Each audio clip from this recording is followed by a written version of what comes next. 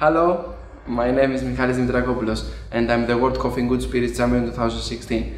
I'm here with Astoria Masin for the Street of Budapest project, so stay tuned.